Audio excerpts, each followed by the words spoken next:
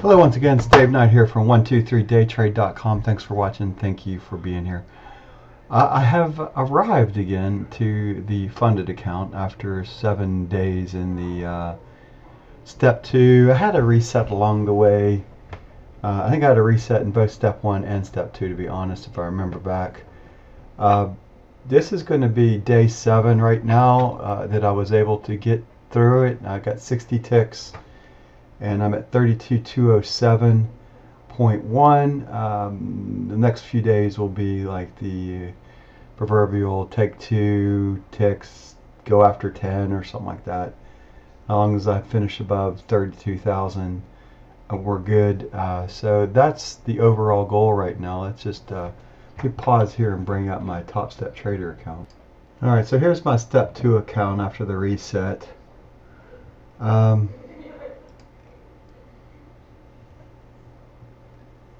so it looks like we're at 100% whatnot. So this is showing after day 7's balance 32207 and I have three more days left to get to um, I mean looked at this. Average winning trade winning trade percentage average losing trade. Uh, there's a bunch of different odds and ends in here. Um, average win uh, loss duration I've been holding my trades a lot longer, to be honest. Uh, catching, you can see I caught one for six hours. I think that was uh, 16th of Wednesday uh, into Wednesday before the the open, uh, the crude oil inventory report. And yesterday I held it for five hours um, overnight, looking for that was June 24th first into second, 22nd. So I held that one and uh, was able to. I basically tried to work almost like um, I don't know what this Coach T Beta is, whatnot, but this is the um, the uh, account itself. So 32207.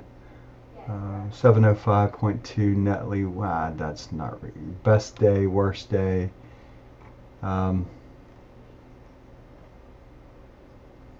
yeah, I just took a small loss on that day, or small win. Noticed that I was able to pull out some nice wins on this one. Uh, started on June 1st and finished it. I'm not, I'm trading like two to three days a week, basically, to be honest. Uh, I'll finish these next three days to finish up the the uh, the combine, the step two, to get to funded before my reset amount comes in, so that I can go to the pro funded account. So the goal right now would be to go to pro funded. Uh, and then work the 5000 and then withdraw it or uh, transfer it to make it the pro account whenever or the funded account with that money or withdraw it or whoever I decide to go about that. Now let's show you my setup as far as last night. I've been doing a similar setup when I see a, a very similar thing on um, in the overnights. Overnights to me is basically anytime after the market closes into the next day you can see I got involved in it right here at uh, 2145 which was uh, it's like is that 945 uh, just before 10 o'clock. Uh, I like this setup here. Uh, let me get my screen draw tool out because it'll make a little bit more sense if I do it that way. What I'm looking for is the looking at the highs. And I'm looking at the day prior which when I move over, when I bring over the daily chart, the hourly chart, it'll make more sense about what I'm doing. And then the volume bars uh, coming across too. So looking for a setup to get involved with and take advantage of, of a move. In this case, I was looking for a move back towards the pivot point from R1 to pivot uh, was the overall goal here. And uh, this is what I've been doing consistently here when I see the right setup happen. Uh, there's a similar setup that happened on that other day that I held for what five hours and this one I held for six hours uh, overnights. So I'm looking for a move back to basically, if you think about water, right? Uh, water seeks its own level in case, and a lot of times what you'll find, the water level is the pivot point, right? So the market moving back towards pivot is what you're looking for as an overall trader from R1 uh, being up here and then you're looking for it to move back towards the pivot line and then proceed basically going across so water seeking its own level in this case a move back before it would come and so consolidate is what it ends up doing. Uh, I've been doing this consistently. I do it as a, a, a positional and a swing trader an awful lot. Um, you see the the uh, 209 you see this big old sell-off coming through here. And here's actually the actual fill of the trade itself uh, which came in at 2:57 a.m. So this was the fill uh, at the 60 tick mark, and it doesn't matter what happens after that, right? You know, you're just uh, I know what I wanted to accomplish in my trading day. I wanted to take a move to, back towards the pivot, and you can see during the rest of the day, the market was does whatever it wants to do because it doesn't doesn't matter. It doesn't affect my breathing. I've already taken advantage of the trade that I was looking for, and then get out. So here's the uh, morning activity, right? So here's your morning. So it sets up a nice little rally uh, coming down again back towards um, the pivot point and then it kind of holds the line again and then as you can see it finishes off here here's the 130 mark here um, it's a pretty simple setup when you look at it from another way. Let's bring over some uh, charts so you can see kind of the overall thought process behind the trade. And we'll work top down here so you can see my my thought process. So here's your hourly chart. I think this is still, no, this is the daily chart. See, I have my, um, I'm still looking for a, a move back down towards, we've, uh, here's the, the lines that I've have on the chart so far, right? This is the, the, the, um, the channel that's been forming. I guess we could almost get rid of the middle part of this channel now. But you have the other two here that uh, we have not been able to maintain. So it's you could actually do another side of a channel here this looks like you we could actually throw in more of a channel here um, using maybe even this up through here. And then let's settle that in a little bit. Let's get uh, let's move that up um, so here's another channel being formed here. And I'm expecting it at some point to sell off and head back down to the 60 handle. Um, so we're just taking little shots at it every so often. But what I want you to focus in on on this particular chart on the hourlies, let's bring the uh, screen draw tool out. What the setup that you're looking for is basically something like this. And if we go back and look at what day did I say that was June? Let me pull up my uh, I have to stop the screen draw. But uh, so this is this is the up move right here, and then you're looking for it to sell back down. Um, basically, meet in the area of what I wanted to see is it to get a little lower, but I figured we could at least get back to pivot. And it also corresponds with the Gann number, and I want to show you that as well. And when we start thinking about things uh, that are going on in the market, you want to try to put as many things as you can in the same spot. So the more um, charts you can show showing the same thing, uh, for instance, here's a screen draw on the same time in the 15 minute chart. Right here, here's your up, here's us here here's the buyback right there off the sell so moving towards the pivot line towards the 200 bar SMA as many things as you can find that you can get back to, um, the more apt the trade is to be successful. So crude oil, the CL market likes to retrace a lot. Know your market, in other words. The market that I like to trade, I know it likes to retrace. It likes to, it'll do, it'll stair step its way up, right? Kind of like, and then you get your retracement side of it. So this is a blow off type of volume move. If you think, uh, I mean, uh, of a of not volume, the volume here on the day is what you see there, but you see a blow off up move going on and then it kind of consolidates up here. Now it could have obviously ran this direction and if it would have went that way uh, I would have taken a 30 you see here 22 32 point tick hit if it moved up. So basically what I was looking at was a 60 to 32 move. It's basically what I've been doing lately um, to take advantage of a move that I believe, but also giving it enough space that it has enough ability to be able to hold uh, above a certain range. And knowing what kind of market you're into, this helps uh, the overall. So I knew what kind of pattern I'm looking for, this up thrusting movement, a consolidating pattern, and then a comeback to the water, right? The water being the coming back. Water seeks its own level again, right? So that's what I'm getting at. Water seeking its own level, it'll reach back down a little bit, and then it's going to do whatever it wants to do. Now, maybe it breaks down. It doesn't really matter. Maybe it breaks up. You're going to keep volume, and volume will tell you what uh, the overall market's going to be doing. That's an overall. It's nothing is is set in stone. You really don't know which way the market's going to go. You're just playing.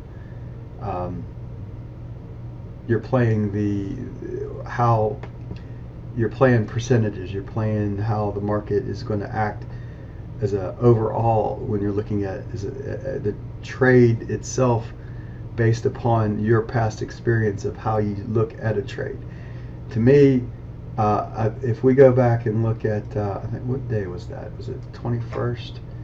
very similar setup that I want to show you that I held um, there it is right there. It was the 16th so we want to go back and look at the 16th so let's go back let's grab our hourly chart and let's go back to the 16th 16th had a similar setup.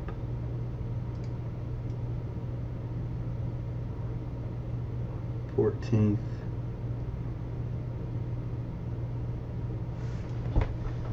14th. Here's the 16th right here. Uh, so the 16th, hopefully you can see the same thing I'm seeing right now, what I'm looking at, right? You see this up thrusting movement right here, and then you see that sell-off coming in to the next day. So reaching, in this case, the pivot point was was um, we'd have to go back and look at it, but uh, this is where the pivot point was today. This was reaching back down towards pivot or S1, one or the other. So it was reaching back to a level that I believe the market could get back to. So water seeking its own level, the level being roughly in this area right there. And looking back here, there's your water. There's where water can seek, right? So it goes up, the wave comes up, the wave comes back down, and the wave decides to do whatever it wants to do at that point, right? But at time of trade, when you're looking back in, in your past, in your history, and you see this upswing movement like this, this, this extreme movement into one direction, and it consolidates a little bit, then your odd, the odds of it coming back and seeking its own level are pretty high. Um, 70, 80% of the time the market's going to come back. Once again, you know, I was, I think I had a 60 tick hit uh, trade with uh, a 30, probably around 30 to 24 tick stop loss going on that particular trade uh, coming back down. Notice it just barely broke over here, and then it come on down. Uh, and I was out overnights. And once again, I was out before the actual market pretty much started up the next day uh, on the trade session. So it um, it's it's it's it's a very specific setup. Now, hopefully, you can see it. On an up move, you're looking for basically uh, this thrusting volume, and you see it over here, by the way. You see a consolidating pattern, and you're looking for water to seek its own level to come back down. In a nutshell, that's kind of the trade itself as an overnight. And it doesn't happen very often, but when it does happen, you're trying to take advantage of this swing coming down.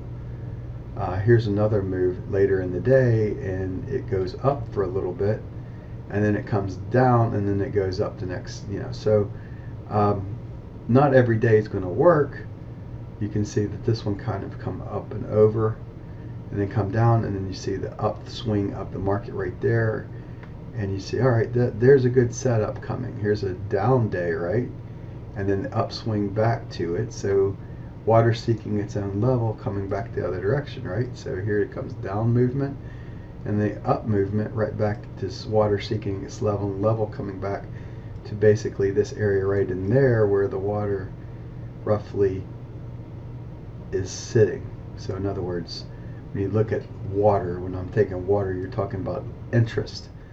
Um, where is the market interest right now at that point in time? It's roughly in this area right through here. Basically, the what does that say? 7160 coming back and forth through there, 7150 roughly.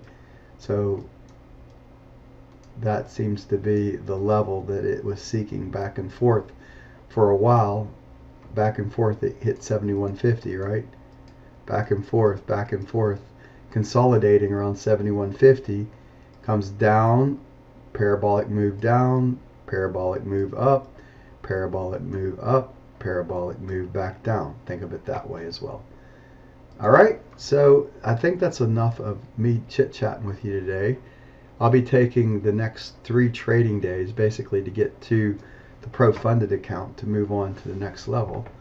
Um, I've been just doing things a lot differently this time, taking my time, only trading a couple days a week, uh, taking just just chilling, and uh, I, obviously I have to do that because of my work schedule that I'm in at the casino right now. But can show once again that you can take your time, find your right setups, find what works in your wheelhouse. And my wheelhouse is being more of a positional uh, swing type of trader, finding those kind of trades that I know have a high probability trade set up to it, attached to a movement, looking for, in other words, the the the the concept that I'm talking about right now is kind of what I believe when Bruce Lee when he says empty your mind, right?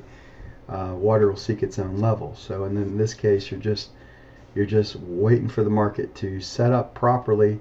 It works both sides of the way, right? It works uh, down, uh, up going down, and a down going back up. It'll, it'll a lot of times that that water will come back to that level. In other words, it'll come back to the interest level of where the market was prior to the movement when it broke away. Think about it a different way. You have your um, your Bollinger Bands. The Bollinger Bands expand and then they contract and that's kind of that that setup that you're looking for as an overall all right it's dave knight here for 123daytrade.com thank you for watching. Thank you for being here. I will be moving on to the pro funded account uh, i guess sometime next week. After i get through the next three days of trading i need 8 9 and 10 so wednesday thursday friday i need a couple ticks here bam bam bam and move on to the next uh, next uh, area of the, the, the account, and that would be the ProFunded account. To look to see if I can build it to about 5,000 this time. That's the overall goal that I'm looking for. And then um, move on, move on, decide what I want to do from there. So it looks like uh, probably, you know, I don't like to trade week of the 4th. So most likely I won't be starting this particular uh, pro-funded account until uh, probably and not until um, the week after the 4th. So you're looking at probably not starting trading until about the 12th of July on this particular account once I get through these next three days. All right, I'll talk to you later. Bye for now.